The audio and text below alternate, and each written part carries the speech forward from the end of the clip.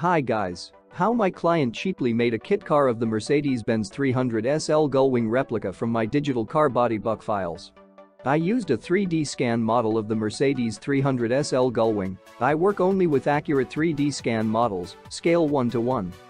After that I divided this 3D scan model into sections. The standard step between the main car body buck sections 10 cm. Step for front and rear sections 5 cm.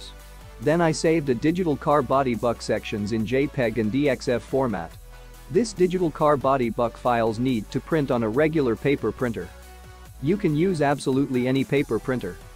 Or need to cut on a CNC or laser machine to obtain wooden car body buck sections. From this wooden sections need to assemble a car buck.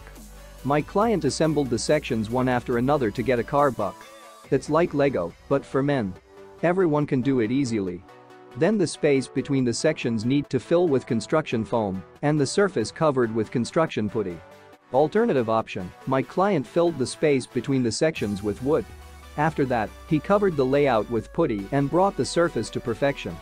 After that, he coated the layout with any suitable composition to avoid adhesion during further work with fiberglass. Next, need to make fiberglass molds for the further production of a fiberglass body kit car my client didn't have this skill either, but he made removable fiberglass molds with ease. The main thing is that you made fiberglass molds once, you can make many fiberglass bodies.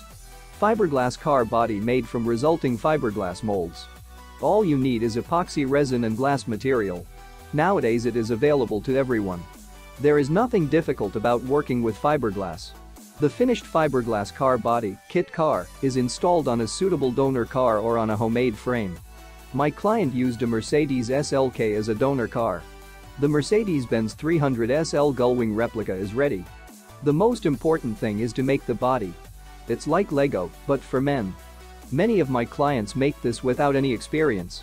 If you need digital car body buck files for self-building a Mercedes-Benz 300 SL Gullwing replica yourself, then Welcome